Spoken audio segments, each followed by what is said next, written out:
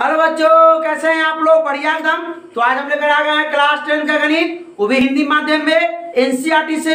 आज हम लोग करेंगे प्रश्नावली तीन दशमलव दो के क्वेश्चन नंबर दो को। तो ध्यान से देखिएगा आइए मज़ा आने वाला है। इसको भी क्या करना है?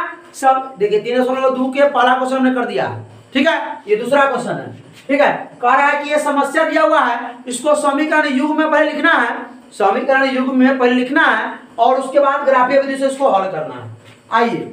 पाँच पेंसिल और सात कलमों का कुल मूल्य पचास रुपया, जबकि सात पेंसिल और पाँच कलमों का कुल मूल्य चालीस रुपया। तो एक कलम और एक कलम, एक पेंसिल का मूल्य ज्ञात करना। तो पहले हम लोग मान लेंगे। माना कि भाई पाँच पेंसिल और सात कलम का मूल्य है तो मान लेंगे ना भाई, कुछ ना कुछ। तो माना कि एक ऐसे लिखते हैं, ठीक है? एक पेंसिल का मूल्य बराबर माने थे एक सौ रुपया। और एक कलम का मूल्य माने थे क्या? बोलिए बोलिए। आप लोग बोलिएगा तभी मानेंगे। वाई रुपया। ठीक है? तो प्रश्न से क्या कर रहा है? ध्यान समझिएगा, एकदम फिर लीजिएगा इसका। पाँच पेंसिल और सात कलम का मूल्य। तो पाँच पेंसिल, यानी एक पेंसिल का मूल्य एक सौ रुपया। तो पाँच पेंसिल का मूल्य पाँच रुपया। पाँच एक्स ठीक है? अब देखिए, सात कलम का मूल्य है, सुनिए। एक कलम का मूल्य कितना है? वाई रुपया। तो सात कलम का मूल्य क्या रुपया हो जाएगा? बोलिए, सात वाई रुपया। अब बराबर में टोटल को जोड़ेंगे, पाँच गो कलम, पाँच गो पेंसिल सात गो कलम। टोटल हो जाएगा पचास रुपया। समीकरण एक हो गया। पुनः प्रश्न से देखिए, बहुत इजी है ये। इससे आसान क्वेश्चन तो कोई हो ही नहीं सकता है। आइए, फिर कहा कि जबकि सात पेंसिल तो एक पेंसिल का मूल्य एक सौ रुपया। तो सात पेंसिल का सात एक रुपया। पाँच कलम तो एक कलम का मूल्य वाई रुपया? तो पाँच कलम का मूल्य पाँच वाई रुपया। टोटल कितना हो जाएगा? सबको जोड़ेंगे मिला जुला करके तो हो जाएगा छियालीस। समीकरण दो और एक निकल गए इसको अब ग्राफीय विधि से हल करना है। तो आइए ग्राफीय विधि के लिए पहले वो बनाते हैं एक्स अक्ष, और एक्स अक्ष हो गया, ये वाई अक्ष हो गया। आइए पहले हम लोग नाम नहीं देंगे, कि कितना तक के जाता है उसको वैल्यू ठीक है? ये आपका एक्स हो जाता है, ये आपका नेगेटिव एक्स हो जाता है माइनस में ठीक है? ये आपका वाई हो जाता है प्लस में, ये आपका वाई हो जाता है माइनस में। आइए तो हम लोग लिखते हैं समीकरण एक से। क्या लिखेंगे? समीकरण एक से। समीकरण एक के लिए डब्बा बनाइए। डब्बा बनाइए, इसी प्रकार हमने तीन दशमलव एक के सभी क्वेश्चन क्या ग्राफ विधि से और तीन दशमलव दो के पहला क्वेश्चन क्या? दूसरा क्वेश्चन लिखिए। एकदम बोर्ड पे फील आ जाएगा टेंशन मत लीजिए। ना जो बोर्ड पे है तो ग्राफ का चित्र नहीं बनेगा बनेगा एकदम। आइए, समीकरण क्या है? पाँच एक्स प्लस सात, वाई, बराबर पचास।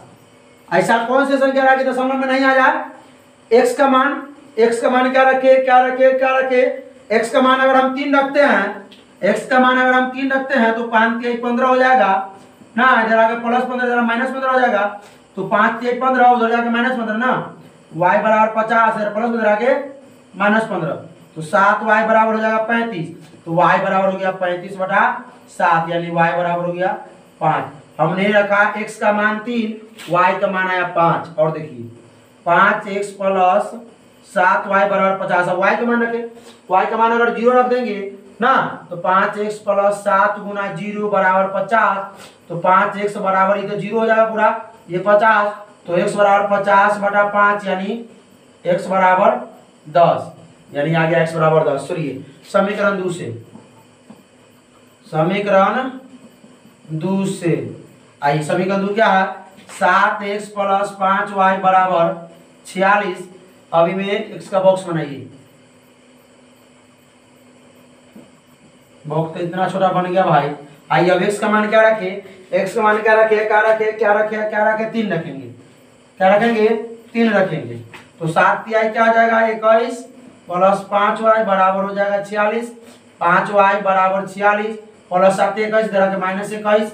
पाँच वाई बराबर हो जाएगा पच्चीस, यानी वाई बराबर हो गया पच्चीस बटा पाँच, यानी कि वाई बराबर हो गया आपका पाँच। यानी कि पाँच। ऐसा रखना है कि दशमलव में नहीं है ठीक है, कोशिश करना चाहिए। जहाँ तक ये हो। आइए अब, सात एक्स प्लस पाँच वाई बराबर अब ऐसा कोई अंक नहीं है। इसमें ना, तीन के अलावा, पाँच के अलावा पाँच रखेंगे तो फिर वही पाँच और तीन आ जाएगा। तो ये सब एक वैल्यू रखने पर थोड़ा समझ रहे बात को? तो ऐसा रखते हैं कि कुछ ना कुछ, क्या? तो दो रखते हैं तो छत्तीस, यानी पाँच के अप्रोक्सीमेटली आता है। y के मान अगर दो रखते हैं तो y के मान अगर दो रखते हैं तो पाँच के अप्रोक्सीमेटली आता है। ना, x का मान? तो चलिए दो रखते हैं। सात एक्स प्लस पाँच गुने दो बराबर हो जाएगा छियालीस, सात एक्स प्लस दस बराबर छियालीस तो सात एक्स बराबर छियालीस प्लस दस जाएगा माइनस दस, सात एक्स बराबर हो गया कितना? छियालीस में से दस गया छत्तीस तो एक्स बराबर छत्तीस बटा सात, यानी अप्रोक्सीमेटली पाँच बुझिए। अप्रोक्सीमेटली पाँच बुझिए, क्या? तो चलिए, यहाँ पर हम लोग एक्स के मान रखे हैं दो वाई के मान रखे हैं दो तो एक्स आया पाँच। पाँच से तरीके ना हट के होगा, पाँच दशमलव एक होगा। क्या? सात से भाग देंगे, छत्तीस में देखिए। सॉरी सात पचे पैंतीस, एक बजा दशमलव। सात एकम सात, यही ना आएगा, पाँच दशमलव एक। रख दे पाँच दशमलव, चलिए।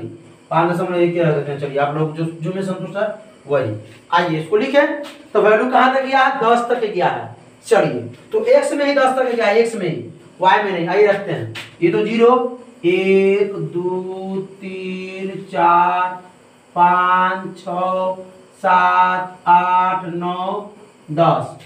वाई में कहाँ तक गया? पाँच तक है। वाई में बेसी नहीं तो वाई में पाँच। एक, दो, तीन, चार, पाँच। आइए। माइनस में कहो तो क्या? माइनस में को नहीं माइनस में कुछ दे सकते। हैं आइए। माइनस में एक, माइनस में दो, माइनस में तीन। माइनस में आइए नहीं तो क्या दे ठीक ज़रूरी है नहीं उतना तक जाना है आइए, चलिए बैठाना शुरू करें आप। शुरू करें। आइए, इसको लेते पहले समीकरण को।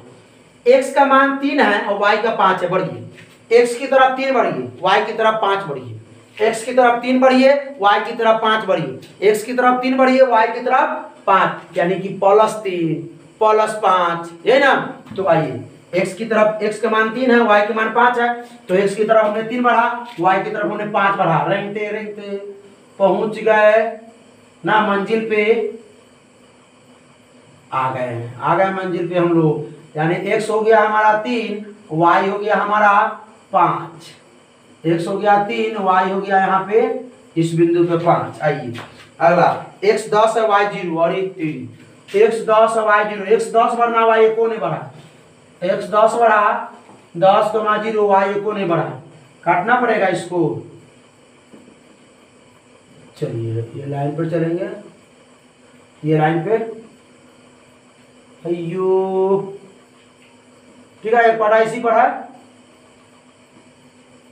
ठीक है, इसी पर करा है। चलिए। आप लोग थोड़ा इसको, आप लोग पास तक कॉपी होगा। कॉपी ना होगा भाई, आप लोग पास। मेरे पास तो बोर्ड है, फिर भी अच्छा बना। चलिए तो यहाँ समीकरण क्या था? समीकरण था पाँच एक्स प्लस सात वाई बराबर पचास। ये ज़रूर लिखना है समीकरण एक, यही समीकरण बनाया हमने। आइए, एक्स में इसमें भी तीन है, वाई पाँच है। तो एक्स में भी तीन, वाई पाँच। यही पॉइंट पड़ा है। तीन कौमा पाँच दूसरा समीकरण के लिए। ठीक है? और एक्स पाँच दशमलव एक है। एक्स पाँच दशमलव एक है, और वाई कितना है? दो है। एक्स पाँच दशमलव एक है वाई कितना है? वाई कितना है? दो है। वाई कितना है? वाई दो है। पाँच दशमलव एक नहीं। आ गया? आ गया। एक्स है पाँच दशमलव एक और वाई है दो। आइए इसको काटिए। इसको काटिए। भाई आंसर तो तीन का पाँच आ ही गया। आंसर तो इसको यहाँ नहीं थे बगल में। तो भाई ये वो तो लिखा हुआ है, ये क्या लिखे? ये वो तो लिखा हुआ है, ये। और इसको काट देते हैं इसे। हाँ अब दुनू रेखा कहाँ काटा? दुनू रेखा कहाँ काटा? तीन को पाँच पे। तो आंसर हमारा यही हो गया तीन को पाँच। यही ना प्रतिच्छेदी रेखा है। यही ना प्रतिच्छेदी बिंदु। आइए ये है आपका सात एक्स प्लस पाँच वाई बराबर छियालीस। ये समीकरण हो गया दो। है ना है? तो हमारा एक्स बराबर है तीन वाई बराबर है पाँच, यानी कि देखिए देखिए, तीन का पाँच में प्रतिशत हुआ इस्तेफाक है कि यहाँ कटा है, नहीं तो बोर्ड पे कभी मिलता नहीं है सही से। आप लोगों को भी एकदम मिल जाएगा। आप लोगों को भी पर एकदम मिल जाएगा, लेकिन बोर्ड पे समझ रहे बात को। चलिए, आगे देखिए, ये हम लोग लिखते हैं क्या? कि हमने माना था एक पेंसिल का मूल्य एक सौ रुपया, यानी कि कलम का पेंसिल का मूल्य था कितना निकल गया? तीन रुपया। तो लिखेंगे हम लोग, एक पेंसिल एक पेंसिल एक पेंसिल का मूल्य कितना रुपया? तीन रुपया। और एक कलम का मूल्य पाँच रुपया। कोई दिक्कत? अब निकाल के देख सकते हैं भाई। निकालिए समीकरण एक और दो, घटा के निकाल लीजिए घटा, जोड़ कर निकाल लीजिए कोई दिक्कत? समझ में आया? देखिए, अगर इस पर नहीं समझ में आया होगा तो कमेंट ज़रूर कीजिएगा। हम कॉपी पे बना के बताएँगे। अगर आपको कॉपी पे बना के बताएँगे, आप लोग पहले स्क्रीन शॉट ले लिए? चलिए। आप लोगों को अच्छा लगा तो क्या करना है? सिर्फ़ अपने दोस्तों में शेयर करना है। अब एक चीज़ आप लोग को और बताना चाह रहे हैं क्या कि इस यूट्यूब चैनल पे फिजिक्स का ऑब्जेक्टिव मैथ का ऑब्जेक्टिव संस्कृत का ऑब्जेक्टिव सब आना शुरू हो गया है तो आप लोग उसको देख सकते हैं, ठीक है? अगर आप लोगों को फिजिक्स का चैप्टर वाइज चाहिए पूरा, ठीक है? चैप्टर भी चाहिए चैप्टर भी अगर पढ़ना हो तो कमेंट कीजिएगा, ठीक है? संस्कृत का ज़रूर पढ़ना हो तो कमेंट कीजिएगा। रसायन शास्त्र का पढ़ना हो चैप्टर तो भी कमेंट कर सकते हैं। तब तक क्या करें, इसका रिवीजन करते रहें, पढ़ाई करते रहें। All the very best